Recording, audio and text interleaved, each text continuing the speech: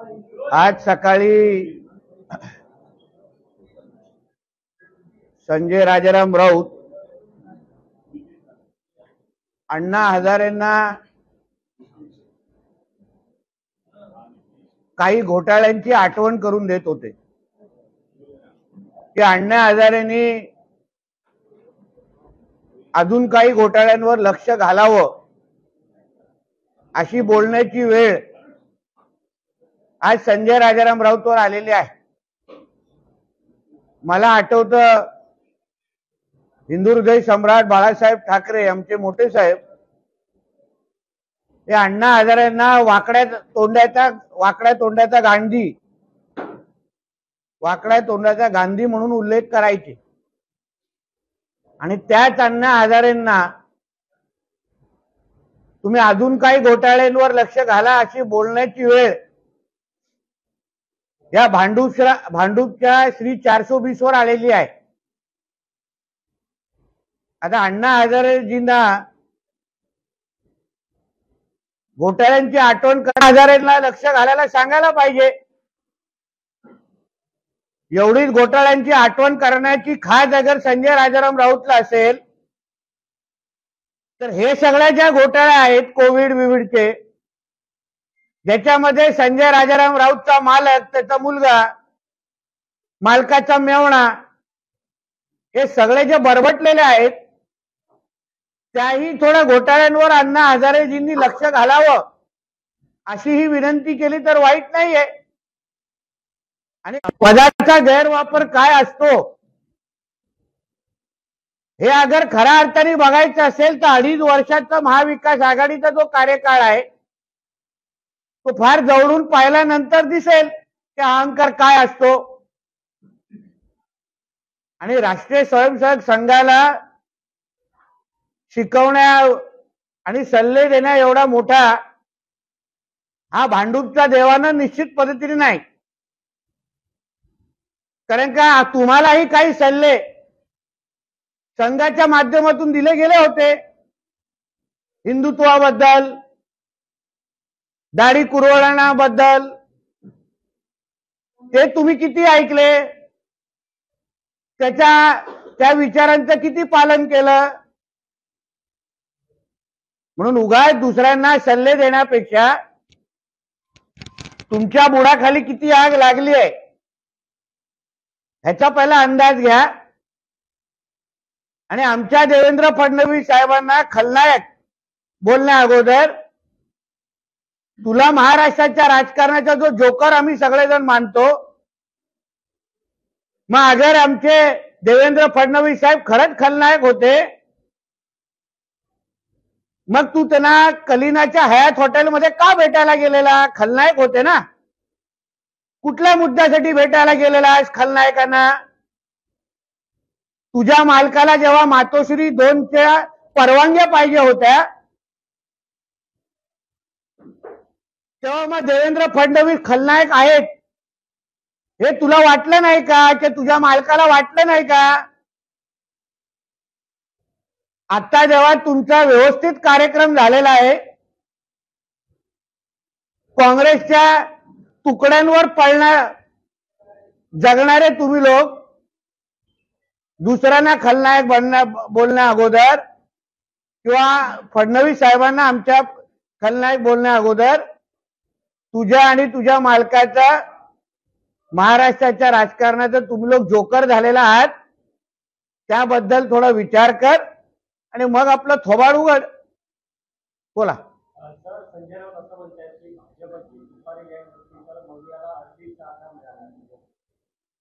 मग संजय राजाराम राऊत आणि त्याचा मालक पवार साहेबांची कुठली गँग आहे? बेवडा गँग आहे? काय गांजा गँग आहे? दुसऱ्यांना सुपारी बोलण्या अगोदर तुम्ही जे पवार साहेबांचा जो गांजा गँग म्हणून पूर्ण महाराष्ट्रामध्ये फिरता त्याबद्दल थोडी माहिती द्या आणि मग दुसऱ्यांबद्दल टीका कर. नरेंद्र मोदी यांनी अयोध्येत रामाची पूजा केली नाही तर स्वतःची पूजा केली असं म्हणते आहोत त्यांना आरोप करण्यासाठी काय हो? आतापर्यंत मोदी साहेबांचा कोणी पूजेसाठी तरी समोर बसू शकतं पण तुझ्या मालकाला फोटो लावून कोण पूजा काय? थुकण्याचं पण लायकीचं नाही याबद्दल तू फक्त पहिला विचार कर. तुलना कोणाकोणाशी कुठे करायची हे या व्यक्तीला माहीत नाही.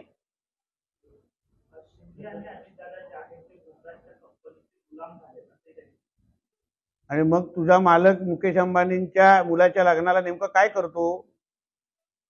तुम्हाला गुजराती समाजाच्या लोकांवर एवढाच अगर द्वेष असेल तर मग तिथे फुकटाचं खाणं खायला आपल्या कुटुंबियावर तुझा मालक का जातो? मग तिथे का बोलत नाही की आम्ही गुजराती समाजाच्या लोकांच्या मुलाच्या लग्नाला पण जाणार नाही? सुट्ट्या साजरा करण्यासाठी किंबहुना फुकट सुट्ट्या साजरा करण्यासाठी फुकट जेवणासाठी गुजराती समाजाचे लोक चालतात. आणि मग अन्य पत्रकार परिषदेमध्ये गुजराती समाजाच्या लोकांना शिवाय घालायचा हा विषय बरोबर नाही अं, सर ते म्हणाले आम्ही बघूया सोबतच लढणार आहोत आधी सोबत भाषा करणार शिवसेना समोर आम्ही विधानसभा मी तर ऐकलं की काँग्रेस आणि पवार साहेब यांना पंचवीस सीटच्या पेक्षा जास्त द्यायला तयार नाही आहेत लायकीप्रमाणे. कारण का मोजून तेरा चौदा काय आमदार राहिलेले आहेत तर पंचवीस सीटपेक्षा जास्त उद्धव ठाकरेला द्यायचं नाही असं ठरलेलं आहे. पहिलं त्याबद्दल बोला आणि मग स्वबळाची भाषा तर दूर हो. कारण का तू ह्यांचे खासदार नऊचे नऊ खासदार हे पाकिस्तानचे झेंडे फडकूनच निवडून आलेले आहेत. स्वतःच्या ताकदीवर कुठे आलेले आहेत? कारण का ह्यांचा मूळ मतदार जे काल आमच्या फडणवीस साहेबांनी पण उल्लेख केला यांचा मूळ मराठी मतदार यांच्याकडून कधीपासून दूर राहिलेला आहे? हिंदूंनी यांना मतदानच केलेलं नाहीये. हे सगळ्या पाकिस्तानच्या लोकांच्या झेंडे फडकवणाऱ्या लोकांवर निवडून आलेले हे लोक आहेत अं, सर निलेश लंकेंनी दुसऱ्या दोन गजा मारण्याची वेळ घेतली आहे. आता काय करू? ते आता काय केला कशाला केला हे सगळं गोष्टी बघायला लागेल. हा प्रश्न मला सूट होतो का नाही याचा विचार करा. सर काल राज ठाकरे म्हणाले की उद्धव ठाकरेंबद्दल मराठी माणसाला अजूनही राग आहे आणि जी म- जे मतदान शिवसेनेला झालंय ते मराठी माणसांमध्ये मोदी विरोधातलं मतदान उद्धव ठाकरे. कारण का मराठी पॉकेटमध्ये जे आमचे फडणवीस साहेब अरिथमेटिक मांडतायत ते कितपत उद्धव ठाकरेला समजतं हा फार मोठा प्रश्नचिन्ह आहे. कारण का तो स्वतः एकदा मुख्यमंत्री असताना ते बोलले आहेत की मला बजेटचं काहीच कळत नाही. म्हणून आकडे ह्यांना किती कळतात हा माहीत नाही. कारण का जिथे जिथे मराठी बाहुल पट्टे आहेत शिवडी लालबाग वरळी मग दादर त्या सगळीकडे उद्धव ठाकरेंची मतं बघा ना मग त्यांच्या उमेदवाराची. तुला अगर मराठी माणसाचे मतदान असेल तुम्हाला अगर हिंदूंचे अगर मतदान असतील तर त्याच्या पॉकेटमध्ये तुम्हाला मतदान झालं असतं. जिथे पाकिस्तानचे झेंडे फडकवले जातात जिथे बांगलादेशी आणि रोहिंग्या राहतात त्याच एरियामध्ये ह्यांना मतदान झालेलं आहे. आता ते खरं मतदान आहे की बोगस मतदान आहे ते पहिलं तपासलं पाहिजे. कारण काही बांगलादेशी लोकांनी पण येऊन मानकूर शिवाजीनगरमध्ये मतदान केलं अशी माहिती आली आहे. आणि ते आता उद्धव ठाकरेचा वोट बँक झालेला आहे. म्हणून असे बांगलादेशी आणि रोहिंग्या अगर यांचे मतदार असतील तर हिंदू यांना कधीच मतदान करणार नाही आणि ती, अ, त्यांची तिथे, अ, जी सुद्धा जसं देशातील सर्वात जास्त जमीन आहे मग सरकार या मदत का करतं त्याबद्दल आमची पक्ष अधिकृत भूमिका तुमच्यासमोर मांडेल. माझी वैयक्तिक भूमिका तुम्ही कॅमेरा समोर चालू शकणार नाही. ते नंतर विचारा. उगाच कितींदा बीप मारायला लागेल ते विचार करा मग.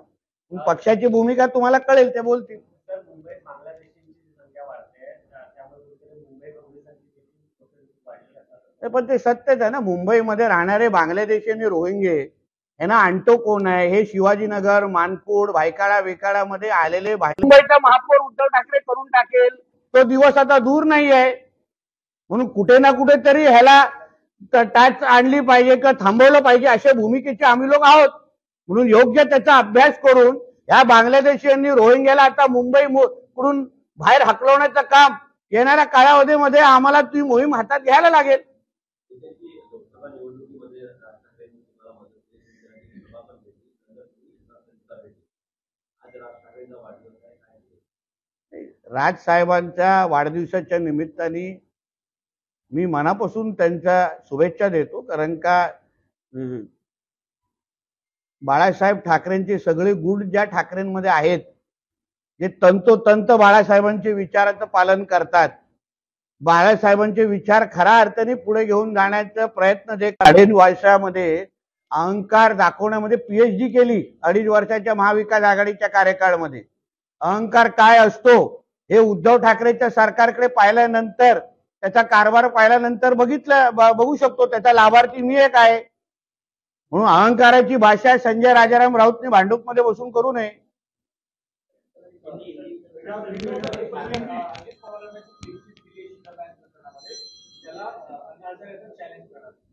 नाही ठीक आहे. आता ते त्या- ते का चॅलेंज करतायत? कशासाठी ते अण्णा हजारे त्या बाबतीमध्ये ठरवतील?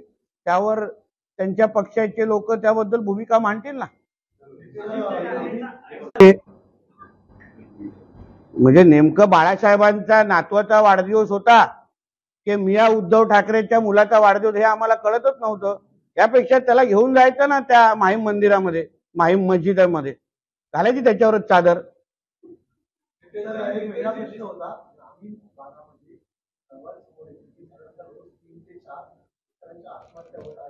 त्याची अंमलबजावणी खालती प्रशासनाच्या माध्यमातून होते म्हणजे ह्या विरोधकांना बोंबलण्याशिवाय दुसरं काही कामच नाहीये ना.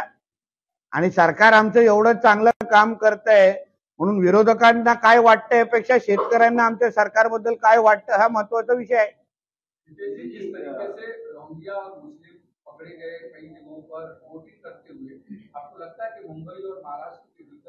मुस्लिम वोटर्स की संख्या वो जानबूझ के मैं बोल रहा हूँ, ये बांग्लादेशी रोहिंगे जो आज मुंबई, महाराष्ट्र में रह रहे उनको कौन ला रहा है? उनको पानी का कनेक्शन कौन दे रहा है? उनको आधार कार्ड कौन? है हर एक के पास दो दो तीन तीन तीन आधार कार्ड भी मिल रहे तो या ये सारी चीज़ की सीबीआई जाँच होनी चाहिए, ऐसा मेरा मत है। क्योंकि ये कल देश को धोखा हो सकता है। कल ये राज्य में अलग तरीके का वातावरण निर्माण कर सकते हैं, क्योंकि ये जो हमारे महाराष्ट्र में रहने वाले मुसलमान, ये अलग है। और ये रोहिंग्या और बांग्लादेशी लोग अलग है। इनको यहाँ आके इस्लाम राष्ट्र बनाने के लिए इनको यहाँ डाला जा रहा है। अगर उनको कल वोटिंग राइट्स अगर मिलना चालू हो गया तो कल एक बांग्लादेशी और रोहिंग्या को मुंबई का मेयर बना देंगे ये लोग। मुंबई को पाकिस्तान बना देंगे, महाराष्ट्र को मिनी पाकिस्तान। मालेगांव में और क्या हो रहा है? मालेगांव में जो कुछ भी वोटिंग हुआ है, वो वोटिंग यादी वोटर लिस्ट तो जाँच होनी चाहिए उसकी कि उसमें लोकल मुसलमान कितने हैं और उसमें बांग्लादेशी और रोहिंगे कितने हैं। जैसे ओएसी के कॉन्स्टिट्यूंसी में अढ़ाई तीन लाख बोगस वोटर है तो मेरा तो आरोप है कि जितने मोहल्लों से मतदान हुआ है, उस सब वोटर आईडी को चेक होना चाहिए। वो सच्ची में वो लोग वहाँ रहते हो कि, सारे बोगस वोटर है, सारे रोहिंग्या, बांग्लादेशी है, उसकी जाँच होनी चाहिए ऐसी मांग मैं इलेक्शन कमीशन के पास करूँगा। आपको लगता है कि ये पूरे कॉन्स्पिरेसी क्योंकि ये तुरंत में किया गया नहीं, पिछले दस साल, पाँच साल से जो प्लानिंग के तहत इस तरीके की चीज़ें हो रही है और बीजेपी को उसके हिसाब से ये सारी कॉन्स्पिरेसी हो रही है। फिर उसमें रोहिंग्या और बांग्लादेशियों को ये ऐसे शहरों में लाना, उनको वोटिंग राइट देना, उनको यहाँ का मतदार बनाना और फिर कल ऐसे चुनाव में इस तरीके का रिज़ल्ट लाना। और फिर जहाँ जहाँ इस तरीके उनके उम्मीदवार जीते हैं वहाँ पाकिस्तान के झंडे लहराए गए हैं, वहाँ हिरवा, हिरा, हिरवा गुलाल उधर उड़ाया गया है। तो ये सारा चीज़ ये पाकिस्तान के एजेंडे के माध्यम से हो रहा है। देश के खिलाफ ये बाहर बहुत बड़ी, बड़ा षड्यंत्र है। इसके खिलाफ आवाज़ उठाना ही चाहिए, क्योंकि कल जो पाकिस्तान में चीज़ें आज हो रही है, वो कल हमारे देश में होना चालू हो जाएँगी। ये रोहिंग्या और बांग्लादेशी के माध्यम से। इसे सही वक्त पे रोकना पड़ेगा लोकसभा चुनाव नतीजों के बाद अब उद्धव ठाकरे अपनी पार्टी की मीटिंग में चुनाव लड़ने की तैयारी में दिख रहे हैं आने वाले विधानसभा बड़ा भाई कौन होगा महाविकास आघाड़ी में तो उद्धव ठाकरे ने अकेले चुनाव लड़ने की हिम्मत दिखानी चाहिए मेरा ऐसा बोलना सिर्फ़ सुखिया, सुखी धमकी नहीं देते रहना चाहिए। कि मुझे, मेरे मालूम के हिसाब से कांग्रेस उनको 25 सीट से ज़्यादा देने को तैयार नहीं है। तो इसलिए ये सब जो वो बड़ा वो इंफॉर्मेशन बाहर निकाले कि हम स्वतंत्र लड़ाएँगे, उनकी हिम्मत नहीं है। उनकी रीढ़ की हड्डी टूट गई है कि वो खुद का खुद चुनाव लड़ सकते हैं महाराष्ट्र में। इसलिए ये सारी सूखी धमकियाँ हैं। उद्धव ठाकरे को इतनी हिम्मत ही बची नहीं कि उसको मालूम है। महायुति टूट जाएगी मैं असली पवार को जवाब देता हूँ बाहर के पवार को जवाब नहीं देता। संजय राउत ये महाराष्ट्र के राजनीति का खुद जोकर है। अगर आपको अभी हमारे देवेंद्र फडणवीस साहब विलन लगते हैं तो फिर आप कलीना के हयात में उनको क्यों मिलने गए थे? कौन से विषय को मिलने गए थे? आपके मालक ने जो दूसरा, दूसरी मातोश्री बनाई है, उसके जो परमिशन है तो यही देवेंद्र फडणवीस जी ने आपको दिला के दी थी। तभी आपको देवेंद्र फडणवीस साहब विलन नहीं लगे। तो इसलिए जोकर ने अपने औकात के हिसाब से बात करना चाहिए।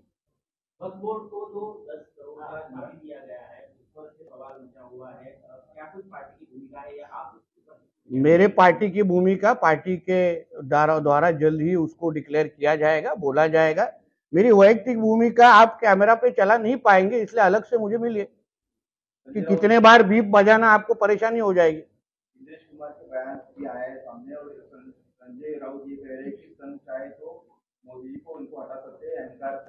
देखिए ऐसा है संजय राउत की औकात नहीं है राष्ट्रीय स्वयं संघ के बारे में बोलने की। राष्ट्रीय स्वयं संघ ने फिर उद्धव जी को और उनके पार्टी को भी हिंदुत्व के बारे में बहुत सारे सलाह दिया था एडवाइस दिया था। वो मानी क्या? हाँ अपना स्वाभिमान बेच के आज गए कि नहीं कांग्रेस के साथ? इससे राष्ट्रीय स्वयं संघ के बारे में सोचने के बा- बात करने के पहले पहले अपनी खुद औकात पहचाने और फिर बात करें। कम ऑन गाइस हरी अरे सुनना एक ब्रेक ले लेते हैं। Guys I am telling you तुम लोगों को सही से ट्रैकिंग नहीं आता। But that's okay, you can learn. रोज का ढक्कन देना। तो ये रेड वाला है सही वाला देना। अबे ढक्कन। पहले तो सही पानी पीना।